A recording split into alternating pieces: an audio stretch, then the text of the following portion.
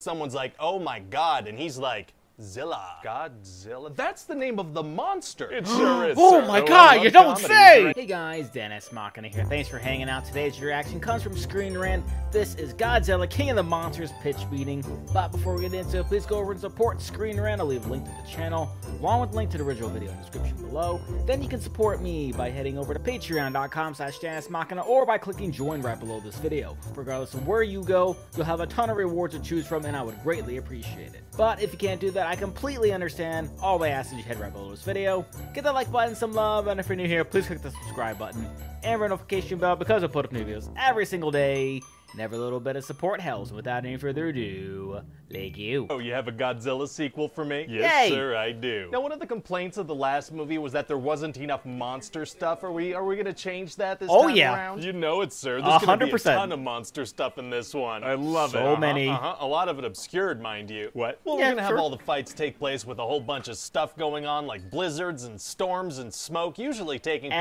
Everything at night, possible. sometimes in the ocean. Okay. It's still gonna look really cool, though. Okay, Yeah, okay, sure. good. Uh huh, uh huh. When we're not cutting away to humans reacting, mind you. What do you mean? Well, whenever cool monster fighting is going on, we're just gonna cut away to humans a lot, going like.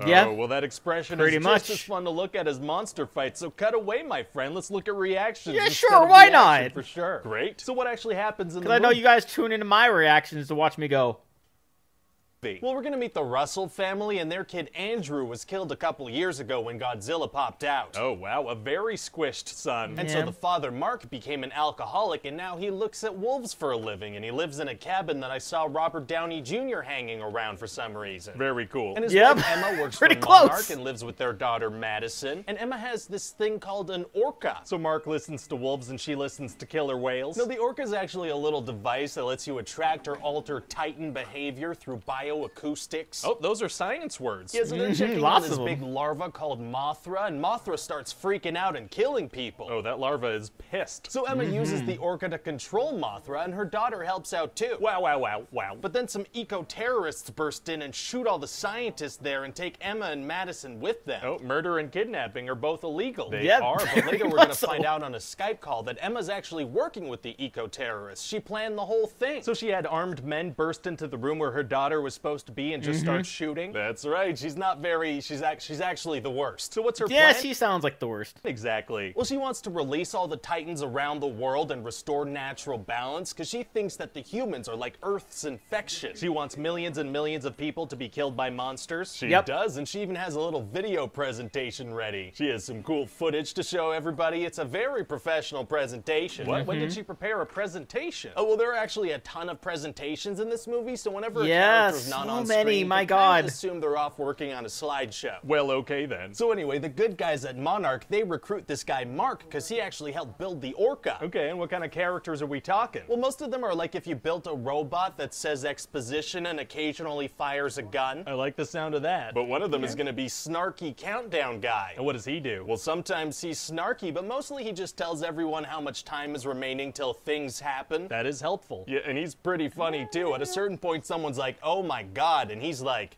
Zilla. Godzilla? That's the name of the monster. It sure is. Oh sir. my I God, you don't say! Is any other funny stuff? Absolutely. At a certain point, one character is going to say that this monster named Ghidorah kind of sounds like gonorrhea. That's the name of a sex thing. It is. Wow, wow, wow, wow, wow, wow. So Wow, anyway, wow. these good guys, they have to stop the eco-terrorists because they're going from Monarch base to Monarch base and releasing monsters. and none of the mm-hmm. bases beef up security after the first terrorist attack? apparently not. Nope. So they go and release this big three-headed monster named Ghidorah in Antarctica. Oh, the one we're gonna make an STI joke about. Uh-huh, and then they're gonna let a fire monster named Rodan out of a Mexican volcano. Volcanoes are hot sometimes. They, They are, really are. So then the good guys are going to try to lure Rodan out into the ocean towards Ghidorah, and a bunch of them die. Like one jet pilot ejects directly into the monster's mouth. Oh, whoops. Whoopsie. So then what happens? Well, then Godzilla shows up too, because he just suddenly keeps popping out all the time. the good guys can't track him or anything? well, yeah, they can sometimes, but not when I want them to suddenly pop out. Okay, gotcha. And how Yeah, does travel apparently. around the world so fast? It's not convenient for the plot of the movie, so we're not gonna have it happen. Like a big network of underground tunnels, and he uses them like wormholes. Oh, secret monster holes are tight. Oh, They I don't are like very how that tight. Sounded at all. I don't like how that sounded either, and I apologize. Please don't tell HR. I don't know anyone named HR. Is that your son?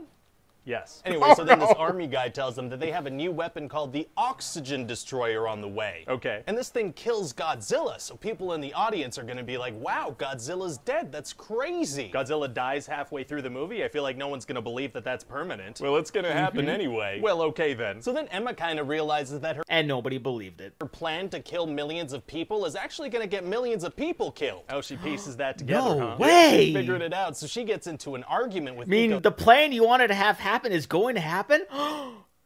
terrorist guy, in Madison, she hears the whole thing. How did she do that? Well, it's broadcast through the entire base over a speaker system for some reason. oh, that's a thing that makes sense. Fantastic. So Madison is gonna yeah, have to yeah, take moves the plot along. Sure. the Orca to Fenway Park in Boston and broadcast a signal and save the day. Isn't it gonna be tough for her to get the orca with the terrorists around? Actually, it's gonna be super easy. Barely an inconvenience. Oh, really? Yeah, because they leave her unsupervised, and also they leave the Orca unsupervised. Well, great. And Everything good guys, unsupervised. they realize that if they nuke Godzilla, they could bring him back to life. Oh, interesting. yeah, so this doctor who's like a Godzilla specialist, he volunteers to bring the nuke himself. Feels like maybe they should keep the guy who's a Godzilla expert around and maybe send a low-level soldier to do that. well, they're gonna mm-hmm. send the Godzilla expert, so he blows up a nuke Yeah. and dies. Fair enough. he So there's gonna be a himself. Big old fight in Boston between Godzilla and Ghidorah, and the fire monster Rodan is gonna be there, and so is Mothra. Oh, mm-hmm. Mothra. Yeah, so Mothra dies. Oh, Mothra. Yeah, apparently it's tradition. If you have Mothra show up in a movie, you gotta kill Mothra. Oh, I didn't True. realize it was tradition. And then thanks Not to a Godzilla movie without Mothra dying. Mothra's sacrifice and the nuke, Godzilla gets super powerful and he makes this big explosion. Very cool. Also, Emma sacrifices herself. What? Why? Well, she gets in a car and drives further away so people can escape. I mean, it sounds like a huge blast, right? Is a couple of blocks really going to make any difference? Probably not, but Uh, this nope. way she gets a big redemption moment. Well, she's Yeah, responsible for an insane amount of death and destruction in this whole entire thing. I'm not sure this is super redeeming. Right, well, It it's really isn't. anyway, so I'm gonna need you to get all the way off my back about it. Oh, okay, yeah, let me get Yeah, off of that thing. So then a bunch of other monsters show up, and they all kind of bow to Godzilla, because he's the king of the monsters. Uh-huh,